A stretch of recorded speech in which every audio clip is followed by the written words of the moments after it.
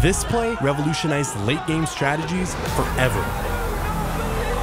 It's 2013 at IEM Katowice with Fnatic going up against SK Gaming, one of the biggest rivalries in esports. The game is even after a grueling 55 minutes when Fnatic fumble their attack, with Nrated and Soaz both dying in the engage and Xpeke barely escaping.